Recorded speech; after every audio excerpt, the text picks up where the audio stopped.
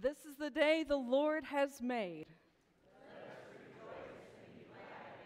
Indeed. Good morning and welcome to Chapel by the Sea. So glad you're here on this first Sunday after Easter in the season of Eastertide. It's a wonderful day here on Clearwater Beach, and I'm glad that you've chosen to be here to celebrate with us the risen Lord, to be with the Lord's people here in this house of worship. We have a few things going on. First of all, I want to extend a very special welcome if you're visiting with us today. Uh, there's a card in the pew rack in front of you. I would invite you to take it out, fill it out, drop it in the plate as it comes by so that we'll continue to welcome you to the chapel. And after worship today, in our friendship foyer, just to your right as you exit, we have orange juice. That's the most delicious orange juice in, in the universe, I believe. Uh, people in the have universe, told me. In the yeah. universe. It's the universe. Speaking of science, right? Yeah, In the right. universe? What's going on in the way Well, it looks like the crowd's starting to thin out. It's after Easter. By the way, we did like 735 combined in the three service for Easter. So round of applause for all the snowbirds that have already gone home. Yeah, awesome. And we know that it's our pastor's powerful sermons that are drawing the crowd. Mhm, that's what it is. But we're beginning to wind down, so we've completed our 36 week series on Man's Search for God 1, which is heavily science oriented. By the way, you know, one of the guys said, you know, I, he took away from that class that if he weighed 200 pounds on Earth, he'd weigh 700 pounds on Mars. or, excuse me, 78 pounds on Mars. Oh. So he said, I'm really not fat, I'm just on the wrong planet. So, Monday nights are concluded now. So we're, Tuesday nights we'll continue with Man's Search for God 2, and we're going to be going into an examination of mysticism. So for those of you who have an interest in that, you might want to join us for that. That's 7 o'clock on Tuesday. The Wednesday Old Testament class has now been put on hold until we can find a, an evening to hold that class. We had a little conflict with some of the folks who couldn't attend, so we'll be uh, resurrecting that one. but it'll be on an evening class instead. So that's it. Stand by. right, Very good. Here, I'll take that for now. Um, in our friendship foyer, as you are drinking the universe's best orange juice, you can sign up for a couple things. You can sign up for Chapel Chicks, a luncheon gathering for women on May the 14th. So I hope if you haven't been that you'll check this out. It's been a great time of fellowship for the women. The Chapel Champs will be meeting May the 14th. I don't think you have to sign up for that. You just show up for that.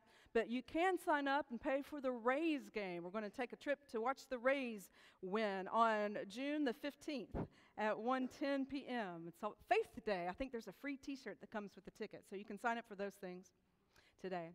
After worship today, um, you're going to need to give blood outside, just right across the street. The blood mobile will be there. So uh, all all of you will just need to go and go give blood. All of you.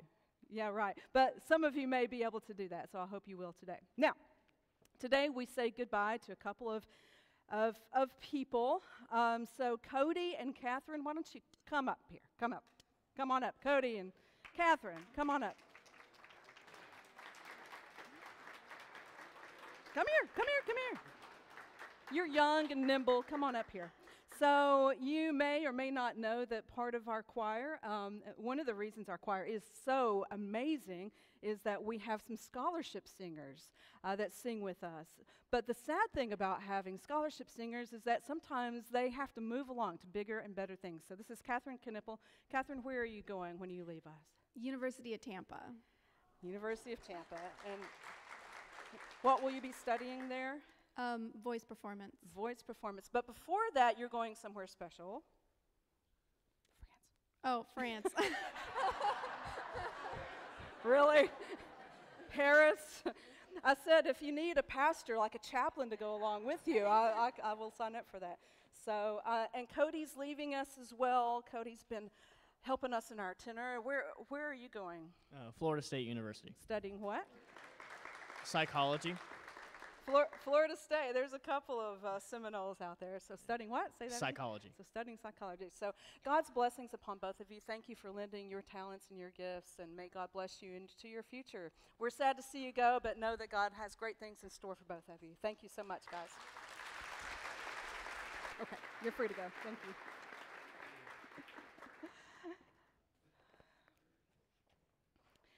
So, with that, we gather today in this season of Eastertide.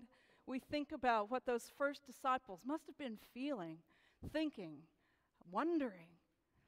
And so we gather today with the disciples in a room when Jesus just appears.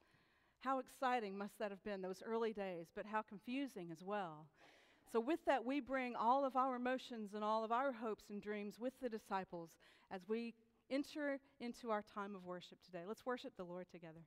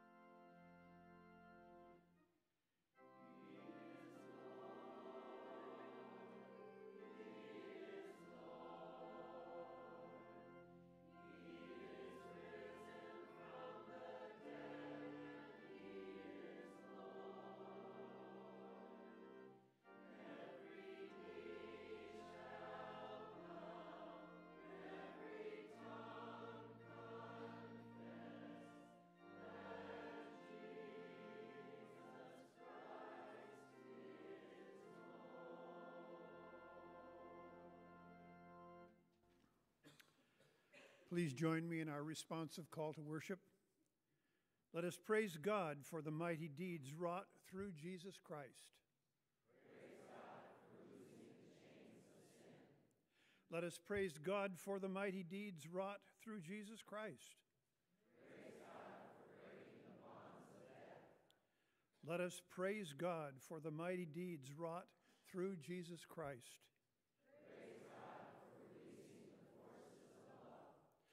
Let us join with God's people everywhere and praise Jesus Christ the Lord.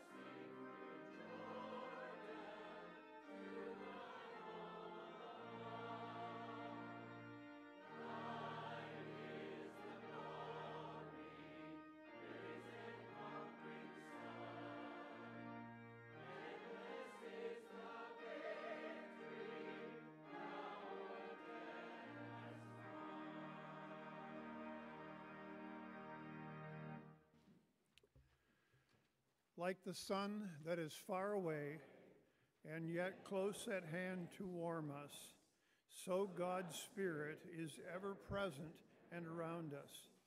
Come, Creator, into our lives. We live and move and have our very being in you. Open now the windows of our souls. Amen.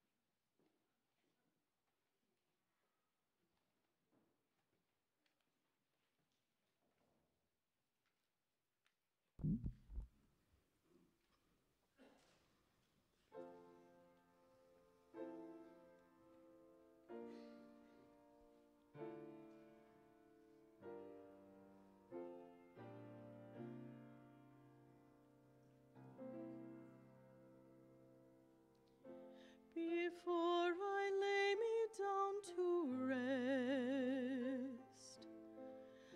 I ask the Lord one small request. I know I have all I could need, but this prayer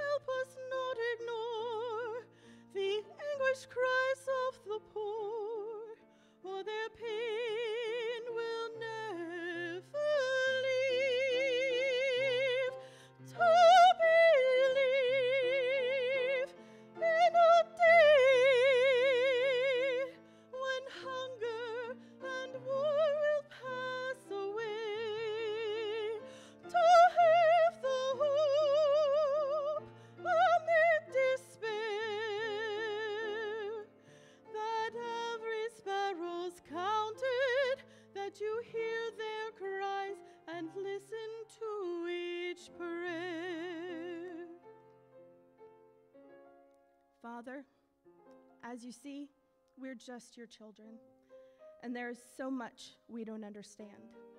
But if your grace should surround us, then we will do the best we can. I promise we will do the best we can.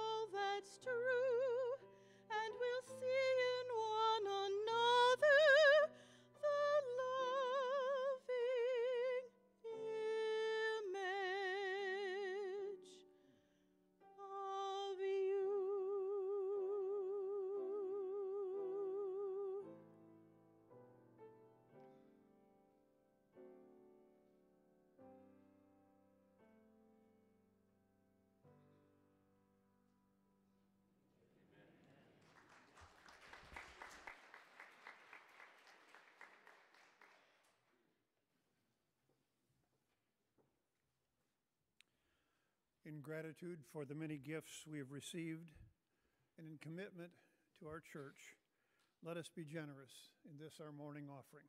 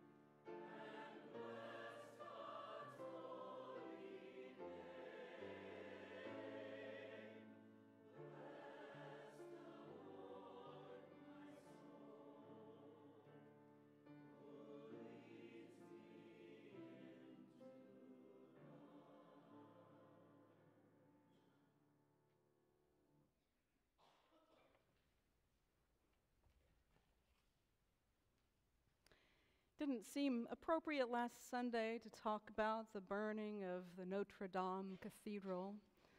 I know, like many of you, I watched in dismay as I recall being there and the majesty. It's iconic.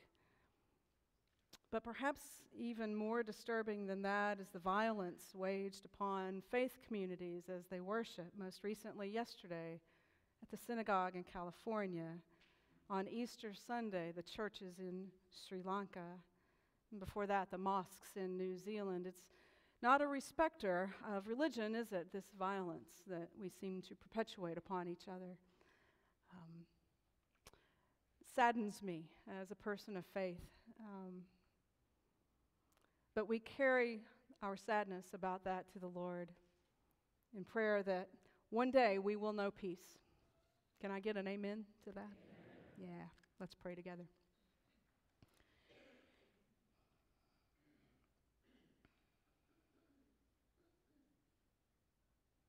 O oh Lord, our God,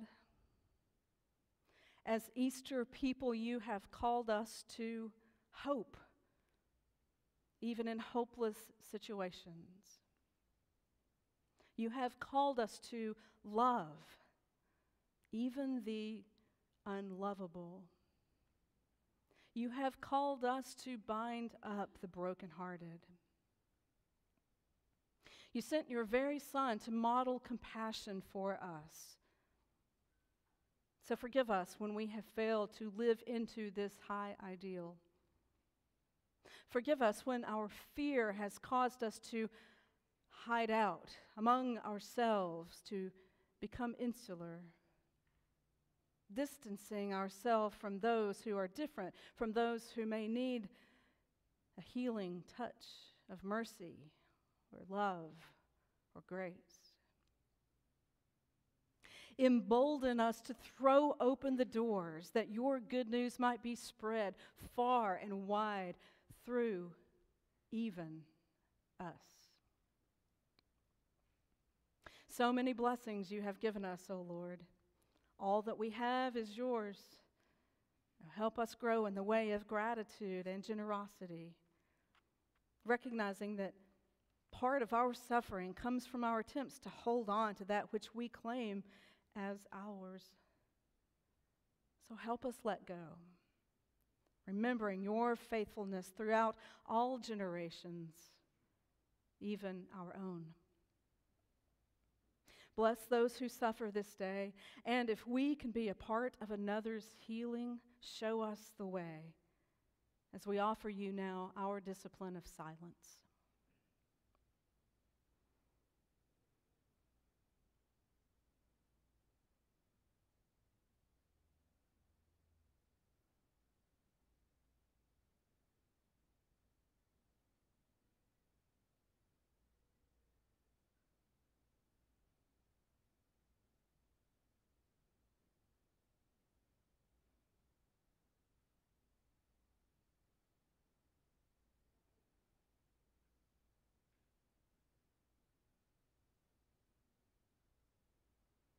And with one voice, we offer our prayers, saying, Our Father, who art in heaven, hallowed be thy name. Thy kingdom come, thy will be done, on earth as it is in heaven. Give us this day our daily bread, and forgive us our trespasses, as we forgive those who trespass against us. And lead us not into temptation, but deliver us from evil. For thine is the kingdom and the power and the glory forever. Amen.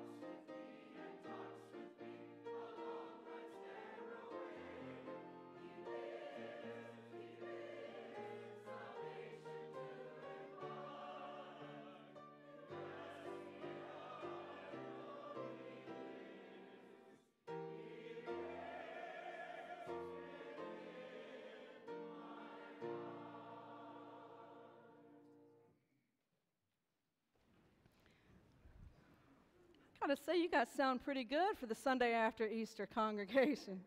Not too shabby.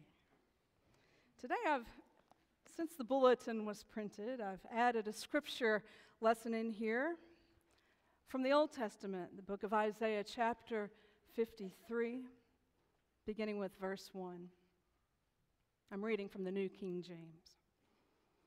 Who has believed our report, and to whom has the arm of the Lord been revealed? For he shall grow up before him as a tender plant, and as a root out of dry ground. He has no form or comeliness, and when we see him, there is no beauty that we should desire him. He is despised and rejected by men, a man of sorrows and acquainted with grief. And we hid, as it were, our faces from him. He was despised, and we did not esteem him. Surely he has borne our griefs and carried our sorrows, yet we esteemed him stricken, smitten by God, and afflicted. But he was wounded for our transgressions, he was bruised for our iniquities. The chastisement for our peace was upon him, and by his stripes we are healed. The Gospel of John, chapter 20. We'll begin today's gospel reading, verse 19.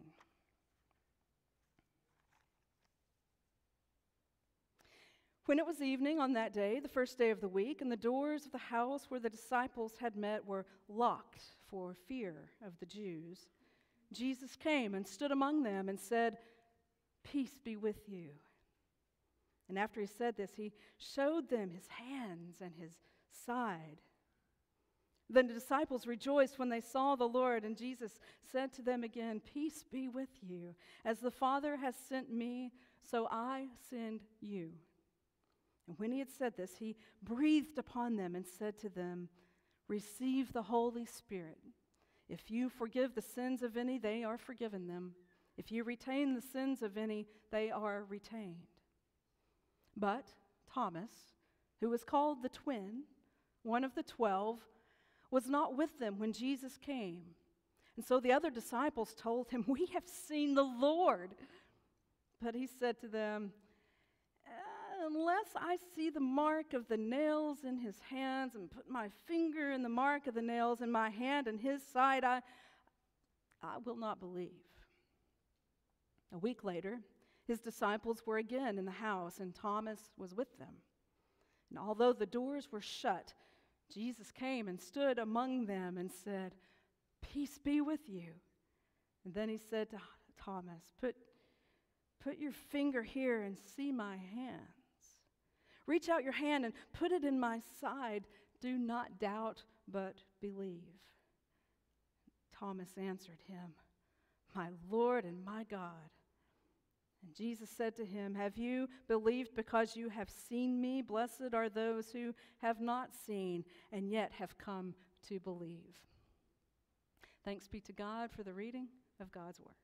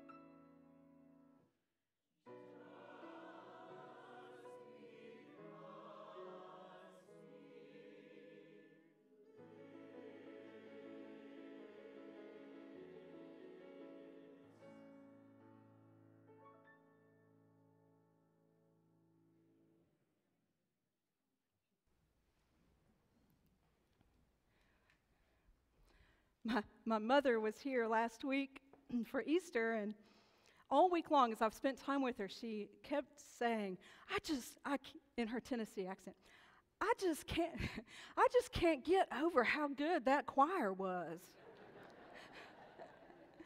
over and over she said this until finally I said, Well, Mom, what, what about the sermon?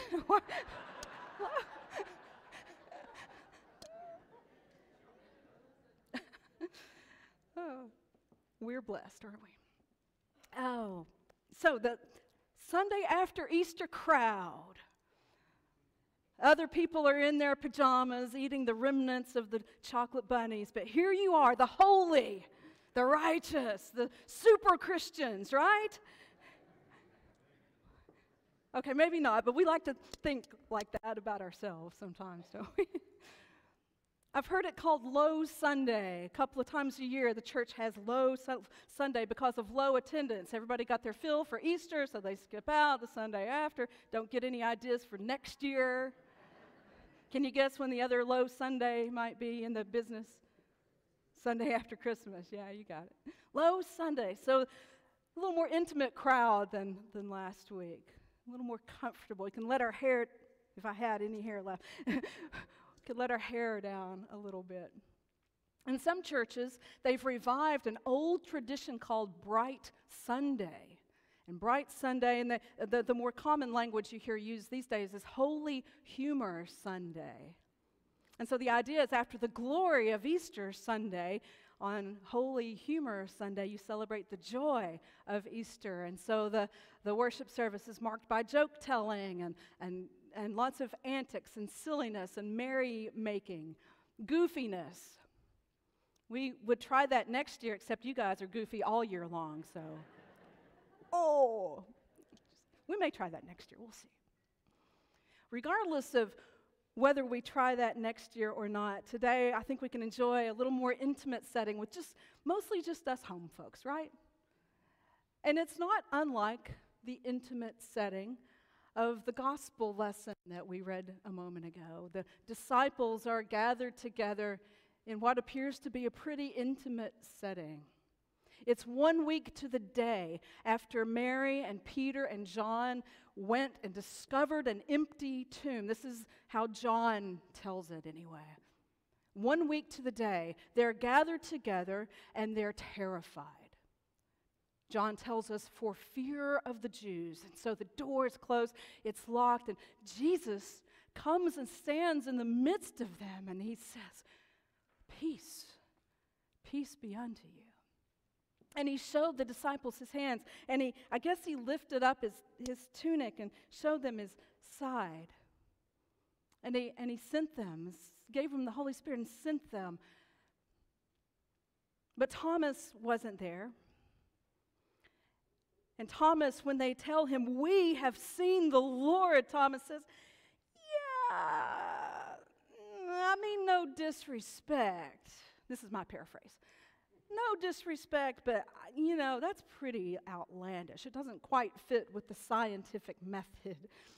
He said, But, you know, whatever. I, if, if I see Jesus and if I can see his hands, no, no, no. If I can touch the scars on his hands and in his side, then I'll believe. And then the story goes on for another week.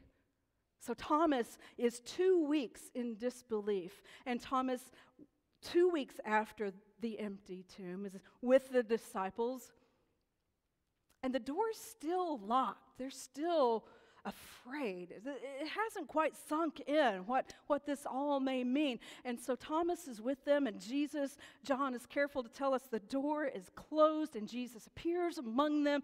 Peace be unto you, he says. And he goes up to Peter and he says, Peter, you touch, touch the scars. You can touch them, Peter. He says, Peter, you can you can touch. You can touch the scar. And i don't go around inviting people to touch my scars. In fact you might get a backhand if you try. But think of how vulnerable that jesus was inviting thomas to touch him in his most vulnerable places. I want to think today about the scars. Usually, when I've t- preached or taught this passage, I think about Thomas, doubting Thomas, and I tell people I think he's gotten a bad rap because I kind of get it. I, I get where he's coming from and w- talk about the, the fine line that separates doubt from faith and how, in some ways, it's a flip side of the same coin, so to speak. But today I want to think about the scars. I want to think about what the scars mean for us today. Because, like Jesus, we have scars too. Does anybody here have a belly button? Nobody? Okay, nobody has a belly button.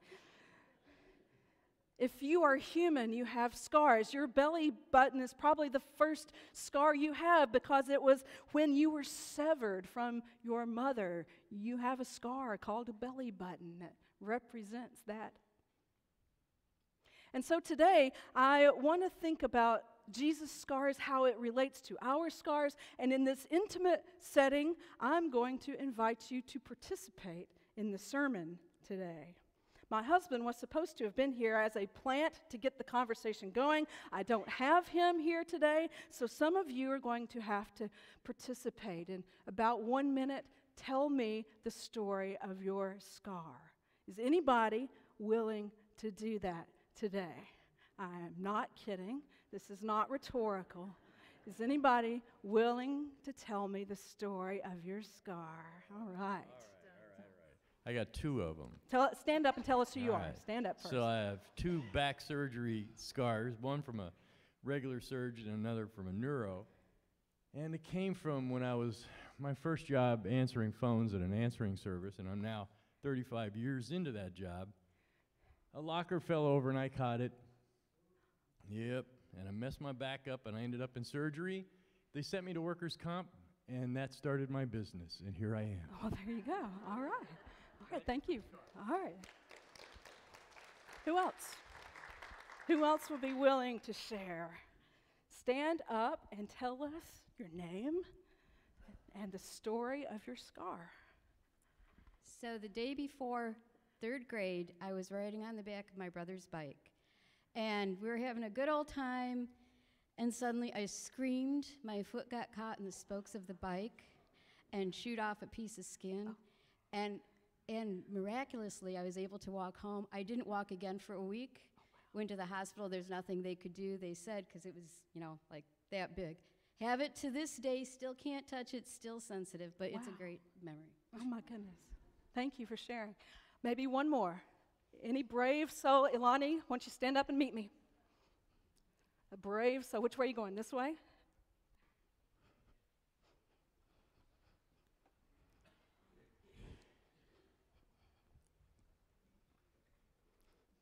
Story of your scar. I was, I think, in my late 20s, and I was petting the head of my brother's dog, and he flew into my face and glomped onto me right here. So it was hanging from my face. So I have 180 stitches. They had to put my lips back to my, my face and pull it together. So the dog fell down from my face, and I ended up with a, a gaping hole. My goodness. Wow. You're beautiful, my love. Every scar has a story, doesn't it? You have scars. Some of you, three of you, were brave enough to share them with the rest of us. But every scar has a story. So, uh, you know, in light of this conversation, if you look at my right elbow, you'll see a weird looking scar. It's a cat scratch from when I was five years old. The cat needed to show the five year old who was boss. Spoiler alert, it wasn't me.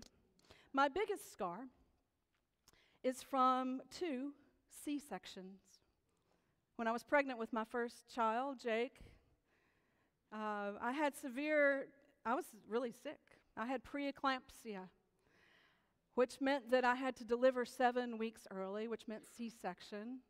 Jake was born seven weeks early at four pounds and two ounces. Tiny. He was so tiny. Not only that, but during the surgery, I, it turns out I had a severe allergic reaction to the anesthesia. And so I began to not be able to breathe.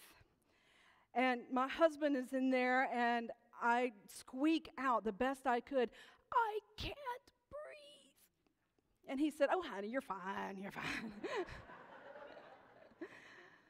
but luckily, the anesthesiologist realized I wasn't and loaded me up with about a million milligrams of Benadryl or something like that. Second child, of course, cesarean section. So I have one scar for the price of two. Every scar has a story. What story do your scars tell? Jesus' scars tell quite a story, don't they? In a literal sense, it tells a story of how he hung to a cross with some nails driven through his hands. Tells a story of how a soldier pierced him in the side with a sword. Perhaps tells a story of how they humiliated him by placing a crown of thorns on his brow. Not to mention the scars on his back from the whip. But they tell another story. Jesus' scars tell us the story of how he was the suffering servant that we read about in Isaiah chapter 53.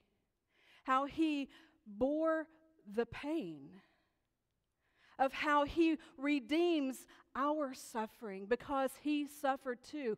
The story of Jesus and the story, the story that his scars tell us is it points to a God who understands pain and sorrow. And what this means for you and for me in our suffering, we identify with Christ. Christ identifies with us. We identify with Christ in this suffering. And not only that, but we join Christ in the compassion that enabled him to endure that kind of suffering. Compassion for the universal body of Christ. Now, this is a lofty ideal.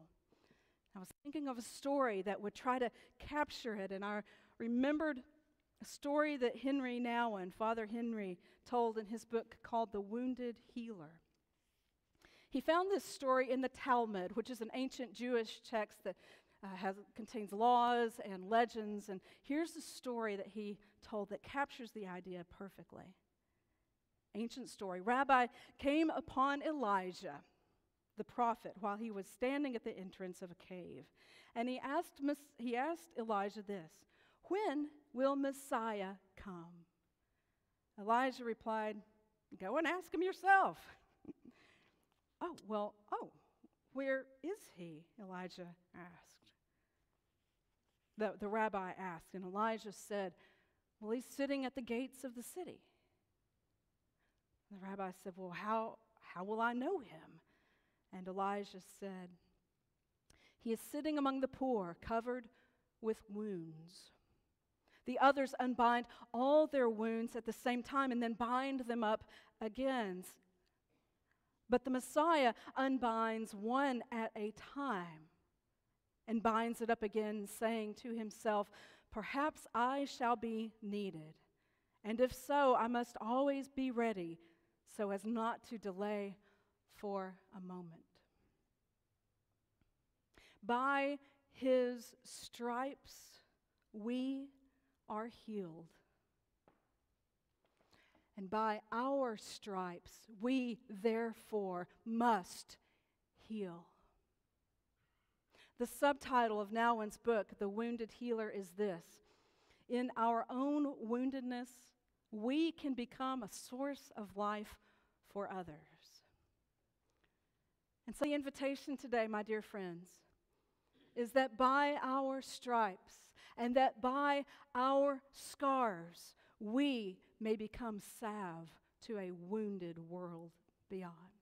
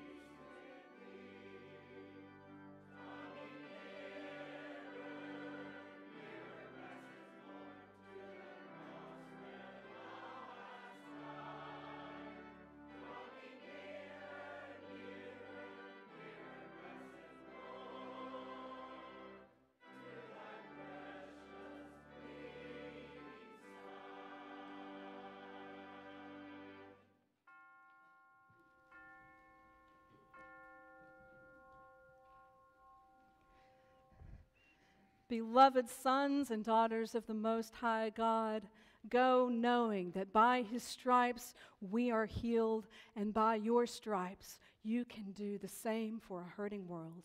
Amen.